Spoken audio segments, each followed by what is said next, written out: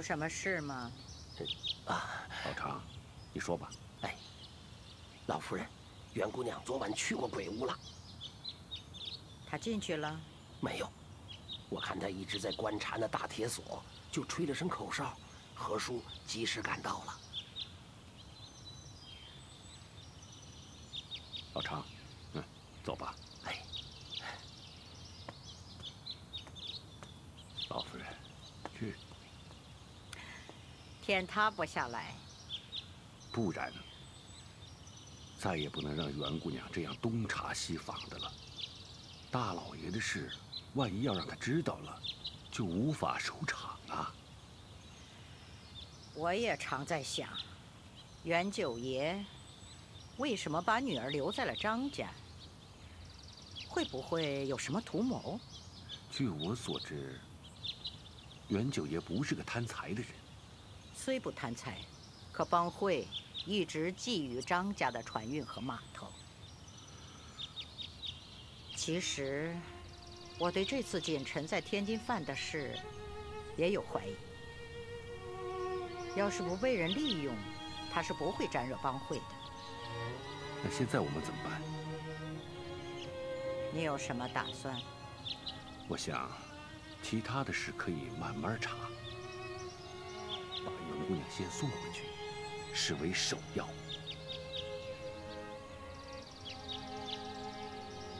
这袁姑娘的性格，有点像您年轻的时候，她吃软不吃硬啊。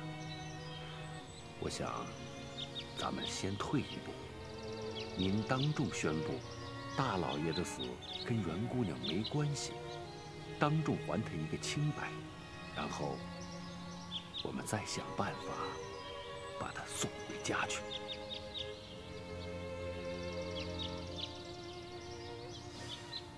嗯，啊哈，把这三天药吃了再来看。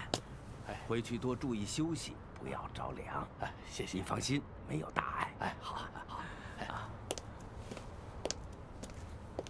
外公。哎呦，心怡来了。来看外公了啊。是啊，想外公了吗？外公还好吗？好。哎，舅舅没在啊？哦。谁说我没在啊？看来了。舅舅。心怡啊，我给你外公买早点去了。你再晚来一会儿啊，哎，我就上班去了。舅舅，我来吧。哎，好。啊，来来来，走走走走走。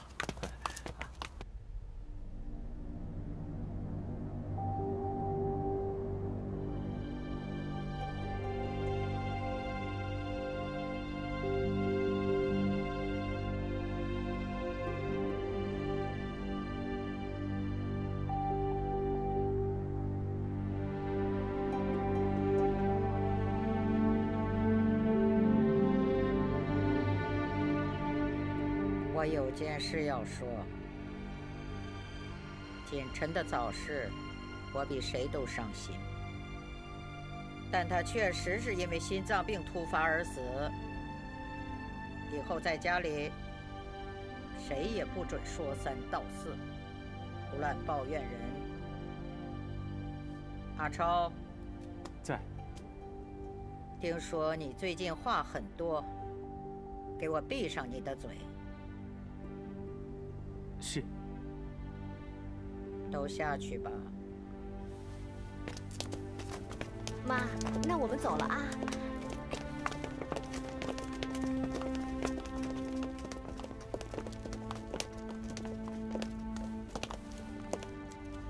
老夫人，您讲的简明扼要，微而不露。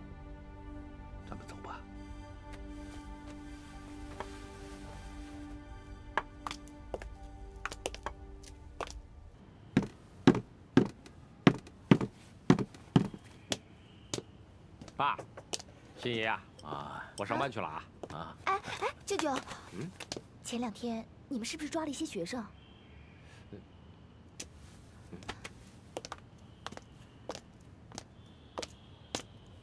干嘛？你问这些事干什么？哦，那里面有一些我的同学，他们只是想参加抗日活动嘛，能有什么罪呢？啊，你说的这些我都知道，可这是上面的命令，我怎么办？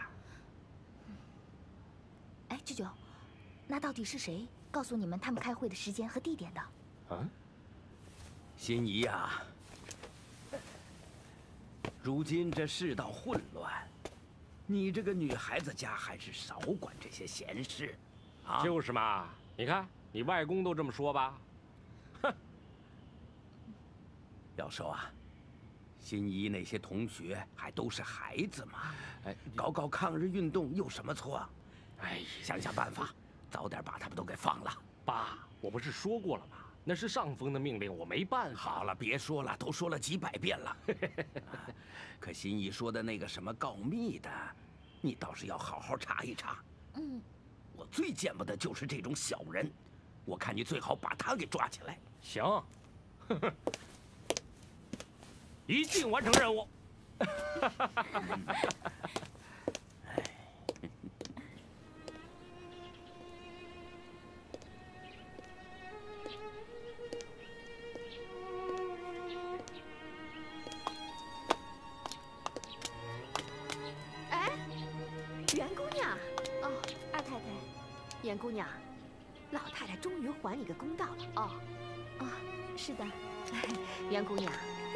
直认为你是清白的，不像那些人，总是看不得你的美貌和学识，就怕你抢了他们的位置。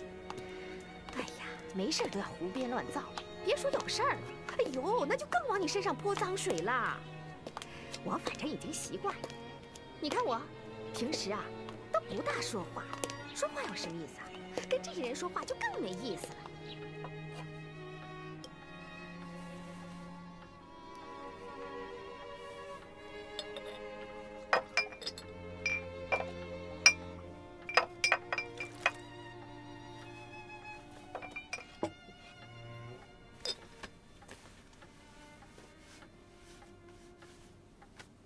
都下去吧。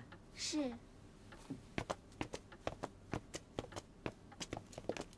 何叔，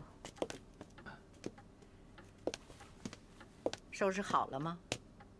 大老爷、大太太都可以回去住了。嗯，狡兔三窟，我不得不多想几步棋。西塘变化大吗？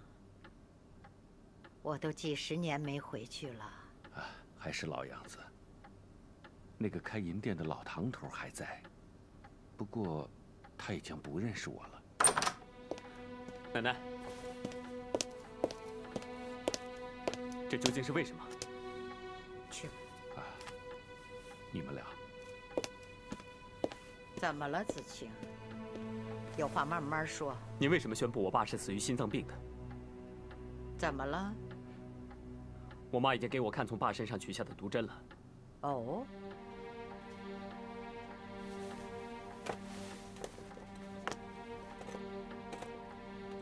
那你妈是怎么说的？我妈说，爸的死很有可能跟帮会有关，但是现在不要打草惊蛇。你妈说的对，毒针是你何叔取出来的，可是什么人什么时候扎进去的，谁也没看见。你是知道的，我们家绝对没有这种东西。可它又是从哪儿来的呢？你爸死的前一天。袁姑娘刚进门，奶奶，这事绝不会是袁姑娘做的，她绝不会做这种事情。我也没说是袁姑娘做的，只是袁姑娘出身帮会之门，这种毒针是帮会人常用的东西。哎，听说那天帮会中的老铁来过。哦，老铁走的时候，你爸还好好的，难道是你爸他自己？我爸也绝对不可能啊！就是嘛。府中上上下下对袁姑娘进门颇多微词。你爸这么一走，他们就把你爸的死和袁姑娘联系起来了。我刚才这么说，就是为了制止他们向袁姑娘泼脏水，才说你爸死于心脏病的。再则呢，也是不想打草惊蛇，暗中查找线索和证据。还是奶奶想的周到。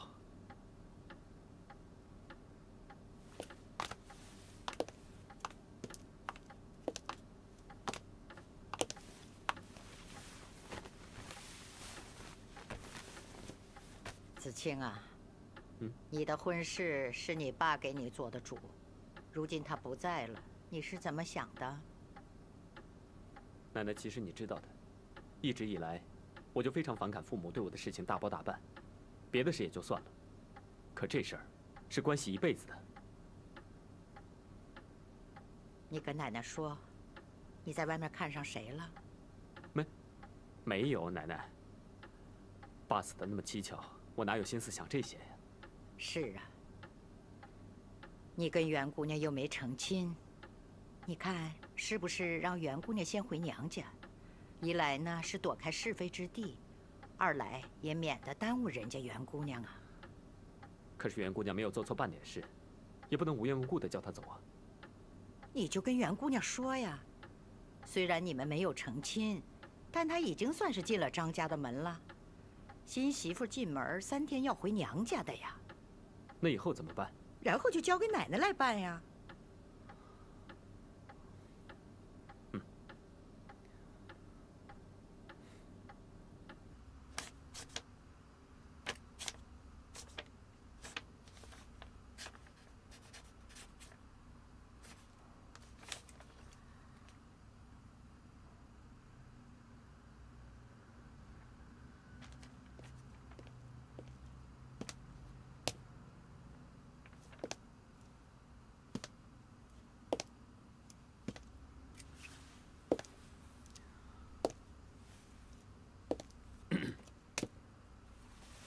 子清啊，坐呀。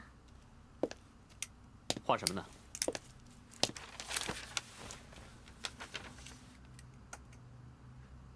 这不是北院鬼屋吗？你怎么画这个？鬼屋？我不知道什么鬼屋啊。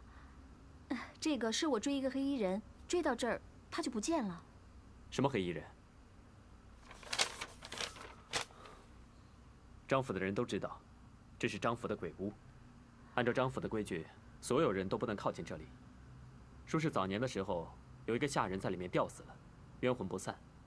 有人在那看见鬼影，还听见了动静。所以张府上上下下的人都不能靠近他。虽说我不信，可是没事我也不会去那儿。哦，原来是这样啊。哦，对了，你今天来找我，有什么事吗？呃。你知道我爸突然亡故，虽然奶奶说他死于心脏病，可是我觉得也很有是非，所以我是来让你回家的。什么？你让我回家？你不会也跟其他人一样，认为你爸爸的死跟我有关系吧？我不是这个意思。按照习俗来讲，这过门三天的媳妇儿，你得回娘家呀。就这一点上，可能你回家。避避嫌比较好。避嫌？我为什么要避嫌啊？我行得正，坐得端。我不仅不避嫌，我还要调查清楚你爸爸的死因呢。我怎么跟你说呢？何叔在我爸身上发现一根毒针。什么？毒针？这毒针都是帮会的常用之物。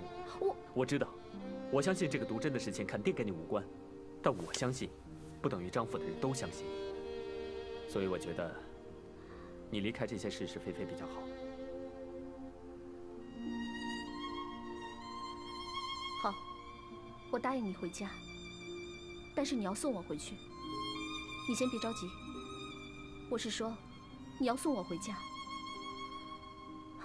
你也知道，我爸这个人是要面子的。再说，不管怎么样，三天回门，女婿应该同行。我也知道，你有很多事情要去办。没关系，到家之后，你回去就好了。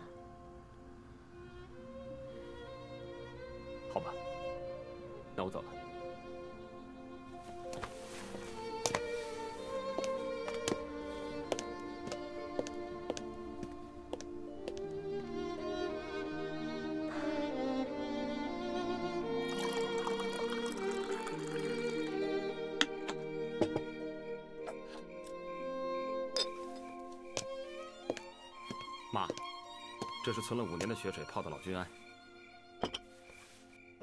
简臣呐，还住得惯吗？嗨，保住了命已经是上上大吉了。是啊，就是老待在屋里有点闷。嗯，晚上没人的时候可以到园子里走走嘛。哎，哎，袁家那姑娘在这儿，我整天都是提心吊胆的。哎，你发什么牢骚？妈自有主意啊。袁姑娘明天就是过门三天以后回娘家了。哎，老夫人，她这次回娘家，我想就事把她的嫁妆给她送回去，让她知难而退，再也不要回张家了。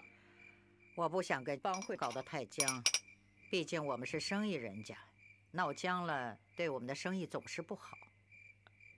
哎，对对对，妈说的对。还是老夫人想的周到啊。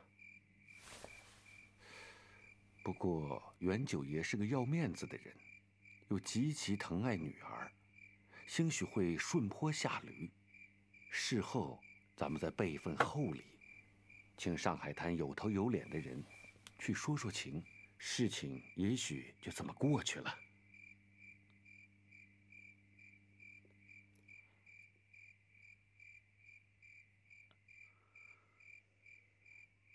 那就试试吧。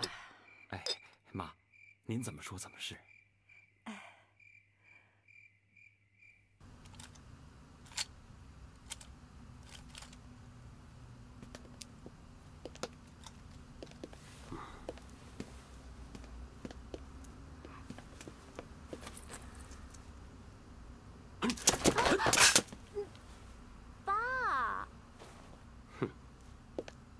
你还有心来看你这个爸呀？我和子清回来看您的。啊，是姑爷。嗯。嗯。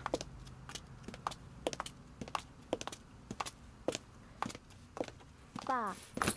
嗯。啊。我知道，静茹头一天进你们张家门，第二天，你爸就死了。你们还没来得及拜堂。啊，你爸的后事，办得怎么样了？多谢伯父关心，我爸爸他过几天就会出殡了。嗯，你回去告诉张老夫人，就说三天后，我领静茹回张家，再去向她请安。啊，爸，子清在家里还有很多事情呢，就让他先回去吧。啊，也好，你回去吧。啊，伯父告辞了。嗯。嗯。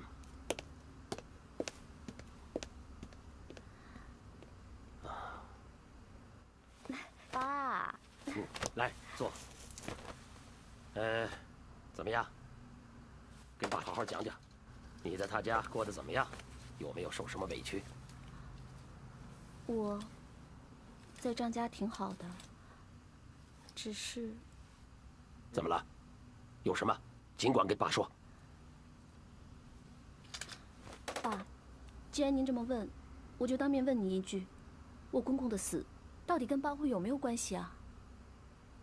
你说这事儿啊，我不是让袁妈已经跟你说了吗？你公公的死跟帮会绝无关系。可是他们在公公的身上发现了一枚毒针。毒针？爸，您真的不知道毒针的事？这毒针的事我哪知道啊？哎，你给我讲讲，到底怎么回事？具体是什么事情我也不清楚。只是他们都说，这毒针呢是帮会的常用之物。哦，这难道是他？他是谁呀？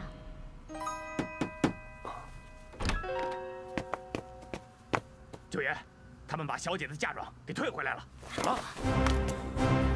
他们把小姐的嫁妆给退回来了？走，看看去。是。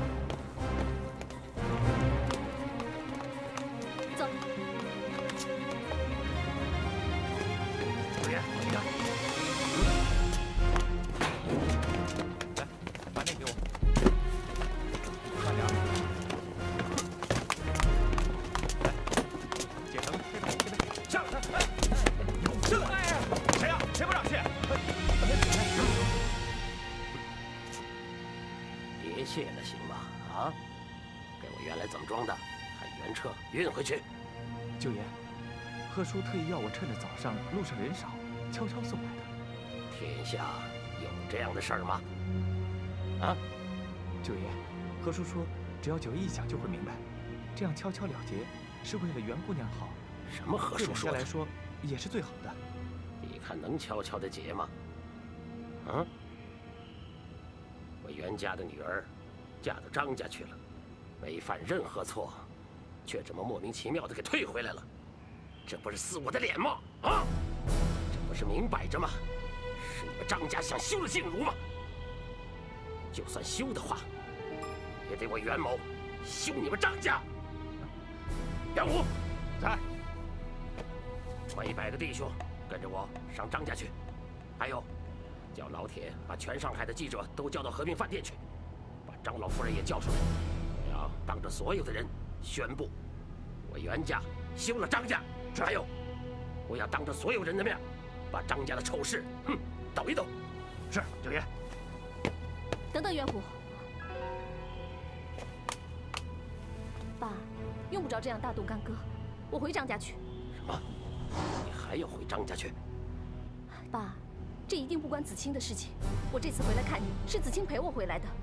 再说，我跟张老夫人有约在先，我并没有违反任何一条。他们居然做出这样的举动来，肯定是有人居心叵测，所以我一定要回去。大小姐，我带人送你回去。不用，道理在我手里，我就不信他张家能赶我出门。哎，静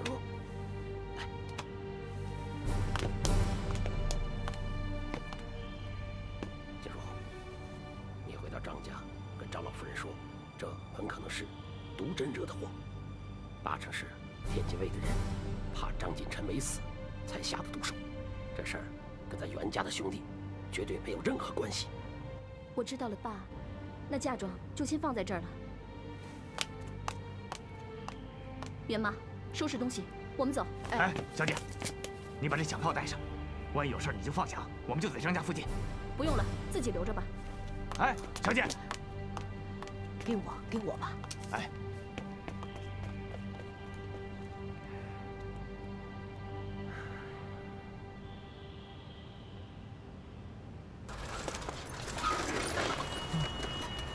白走了那么多路，上海工作又不好找，要么你还是找张少爷，让他帮帮你，找活干。凭什么要找人家张少爷啊？大不了就当来上海转一圈，不行我再回西塘去算了。那干嘛呀？象棋残局，来啊来啊！那边杀猪的，我我去赚点外快。你喜欢就去玩吧，我去那边转转。啊，你去吧。啊。来来来来，来看一看啊！象棋残局，你们谁来啊？啊啊！你看看，啊！哎，来来来，你来。这棋怎么下呀？啊，这下棋啊是最公平的啊，绝对没有骗局。只要你赢了，我赔你钱，压得多你就赢得多。啊。哎呀。那我那我走红的呢，还是走黑的呢？呃，这你可以自己选。那你走红的还是走黑的啊？我要你选。我走黑的吧。啊，那一定是黑的好走了。那我要黑的。行。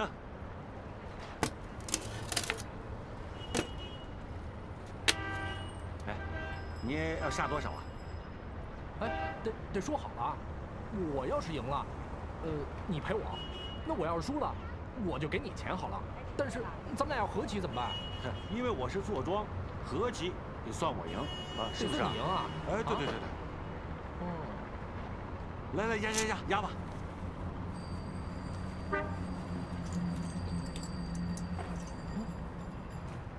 哎呀，就剩一块大洋了，太多了。我去把它换开。哎，不多不多不多不多，这不用换呀，压的多赔的多。来来来来来，放下放下放下。来来放下。哎，不行，你也得压呀。嘿嘿，哎呀，你还挺精明啊。当然了，你也得压上。行。嗯。我已经放下了，你也放下吧。好，都得压，是吧？来，下吧。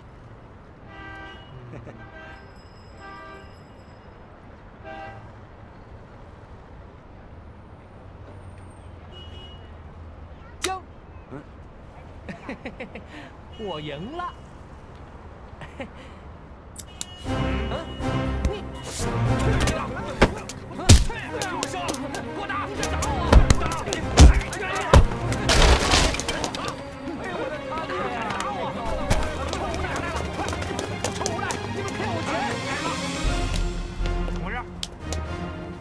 他们抢我钱，还打我！一一群人，他们打架把我烟摊都打散了。回事？阿生，慢慢说。啊，抢我钱！啊啊什么？你们俩还一伙儿啊？走走。哎呦，我们不认识！子清，你谁？你谁呀？回家再说吧。走呀？你谁呀？我，哎，你谁呀？没事？大哥，我跟他不认识的。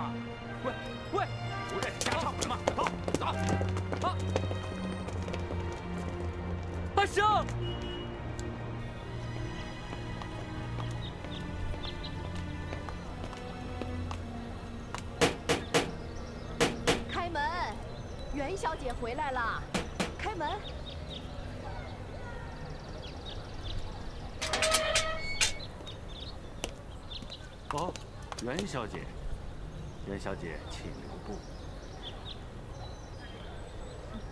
是何叔啊？是您把我的嫁妆送回去的吗？袁姑娘高抬我了，我做不了这种。人贵有自知之明，那你现在怎么又守在这儿啊？是知道我要回来了吗？就算是吧。那好，袁妈，我们走。袁姑娘，不要为难我。只怕是我真的要走，你也会让我留下。看见了吗？顾探长在那巡街呢。只要我告诉他，在老爷的身上发现了一根毒针。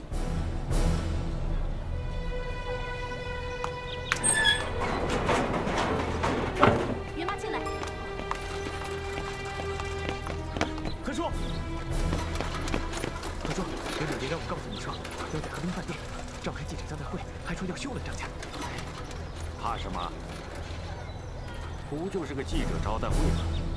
哼，谁家更丢脸？说不定呢。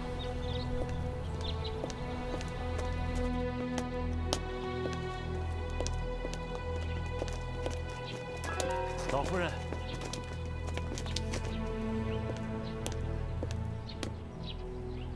什么事把你急成这样？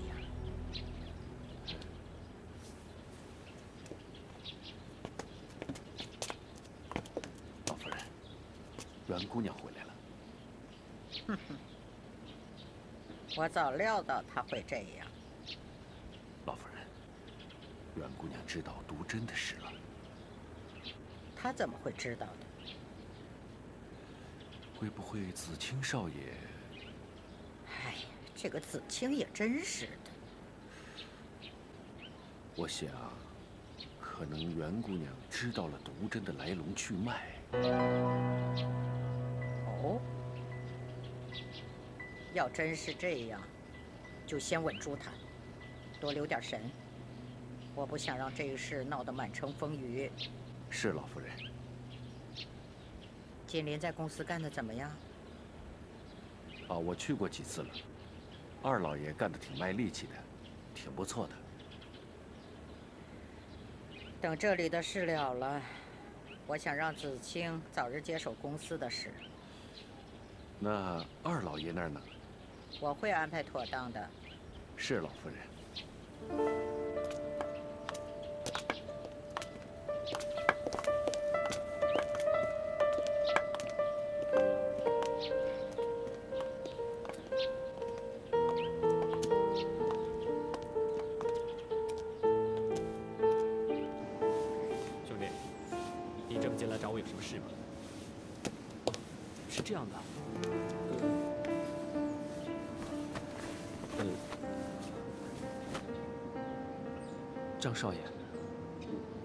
想请你帮个忙。好，出什么事了？呃，阿生被抓了。阿生出什么事了？我想请你把他保出来。你得告诉我，阿生究竟出了什么事，我才能看能不能把他保出来。哦，呃，是这样，阿生跟棋摊上几个小混混打起来了，结果警察来了，就把他给抓了。就这事儿啊？你回去等我消息。这样吧，我送你回去，然后我就去警察局保出阿生，你就放心吧。啊，谢谢张少爷。老马，开车。是，少爷。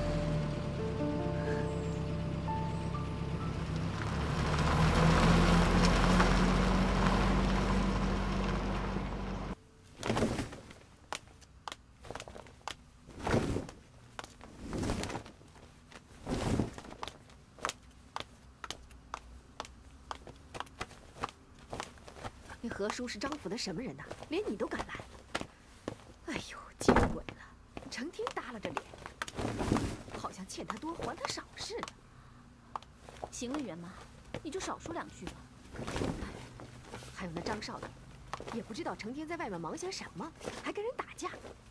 早知道这样，就把他叫回来，省得小姐你受这个嫌弃。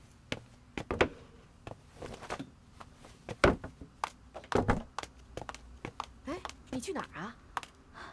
我去找一下老夫人。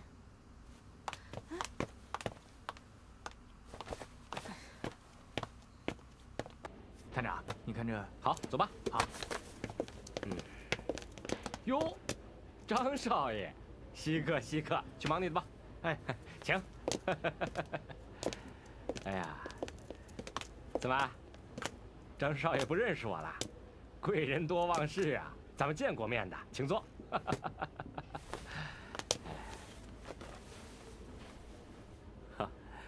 最近家中还真是事多，忙晕头了，还请顾探长多多见谅。哈哈，是吗？啊，哎，张少爷，你可是无事不登三宝殿呐，有什么事需要我帮忙？说话。哈，还真让您说中了。今天呢，就是来请探长帮忙的。嗨，好说好说。这个只要不让我犯法，什么忙我都能帮。哎，这叫不看僧面看佛面呐。我父亲跟你们张家可是世交啊，我就是看他的面子也得照顾你呀。我有个表弟，他天生好赌，这家里啊都被他赌光了，听说又赌到街上去了。今天啊，好像被抓到你们警察局来了。是吗？叫什么名字啊？周阿生。嚯，这个小刺佬，哦，他是你表弟呀？哎呦，他可是警察局的常客啦！啊，他是你表弟，你从手指缝里露出这么点芝麻来，就够他吃够他喝的了。他有必要到象棋摊上去捣乱吗？啊？不瞒您说，探长，这钱呢是给了好多回，可是救穷只能救一时，哪能救一世啊？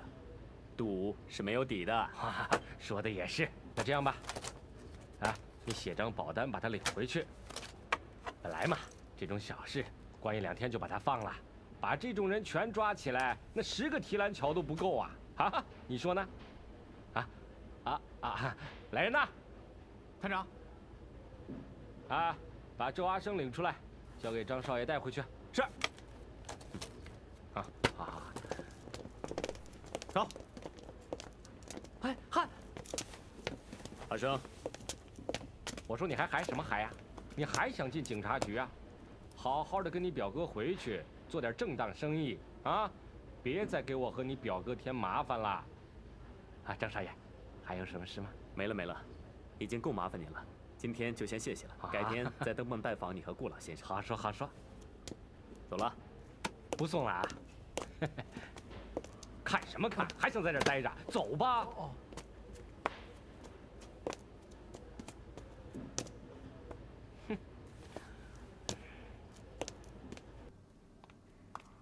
姐姐，姐姐在干嘛呢？姐姐，哎呦，姐姐，弟妹来了。哎呀，折纸钱啊，折那么多了。阿太太好。哎呦，小凤啊，长得越来越漂亮了。谢谢二太太。小凤，去给二太太倒茶去。谢谢啊，弟妹啊，坐吧。哦，好，坐。姐姐啊，你知道吗？那袁家小姐又回来了。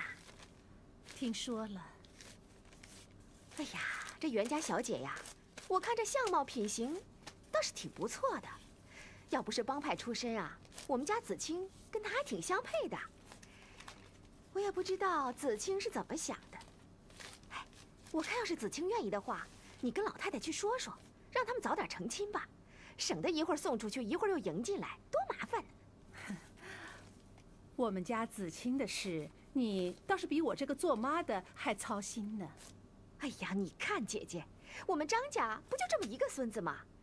怎么说我这个婶婶也是半个娘啊？我看啊，你们平时啊对子清太严厉了，训得这孩子一点刚性都没有了。你别说我们家子清，你们家景林就有刚性啦。哎呦，他我都不想说了，让老太太训的都不像个男人了。你说什么呀？你怎么能这么说我二弟呀？姐姐呀，你真不知道，有些话呀，我还真没地方说。我嫁到这张家十八年了，别人都以为我是张家二奶奶，挺风光的，可人家怎么知道我心里苦啊？这十八年来，我有一半时间在守活寡。呃，弟妹，你……哎呀，你说这样能怀上孩子吗？哎，一开始啊，我还以为我自己有病呢，我就去找顾医生看了，可人家医生说呀，我没病，要锦林去看医生，可他死活不肯去。就这事儿啊，老太太也不着急。我想啊，老太太她肯定想了，哎呦，两房合一子也不错，哼，就这么一拖再拖的。就拖到现在了，你真不知道没孩子的感觉啊！家里空落落的，锦林一去上班，我连个说话的人都没有。弟妹，你也别难过了，自己的身子要紧，要不你再劝劝二弟，让他去看看医生，说不定啊就能怀上孩子了。哎呦，都一把年纪了，怀什么怀？二太太，请用茶。哎呦，别放这儿，会弄湿的。嗯，这茶可真香啊。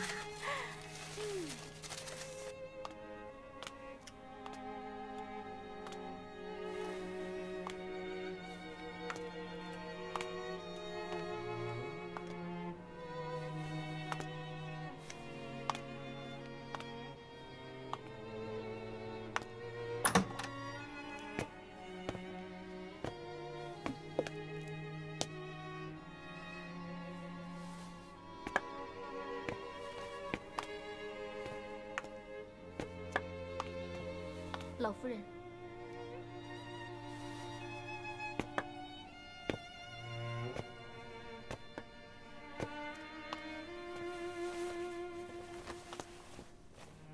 袁姑娘回来了，家里可好？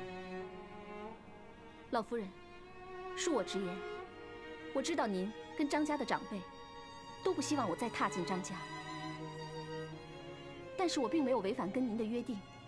所以回家之后，我又堂堂正正的回来了。刚才进门的时候，对何叔多有冒犯，还请何叔原谅。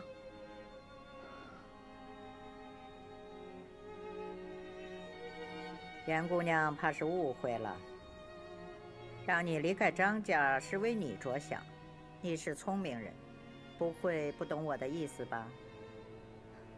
我当然明白。老夫人是希望让静茹远离这些是是非非，但是有些事情是躲不开的呀。张老爷死的蹊跷，身上又发现了毒针，现在张府上上下下都认为这件事情和我有关系。如果我不查清楚，就这么一走了之的话，那些人更该认为我是做贼心虚了，到时候我就真的百口莫辩了。袁姑娘想的多了，清者自清嘛。虽然是清者自清，但我想事实会更令人信服。啊，对了，老夫人，我爸爸他让我转告您，说毒针之事，绝非袁府人所为。哦。我爸爸还说，这件事情可能是天津卫的人做的，他们是想试探一下张老爷是不是真的过世了。这件事儿，他自然会派人查清楚。那就有劳袁姑娘了。嗯，毒针之事没有查清之前，还望袁姑娘不要再跟别人提起。张家的事情够多的了。静茹明白。先去吧。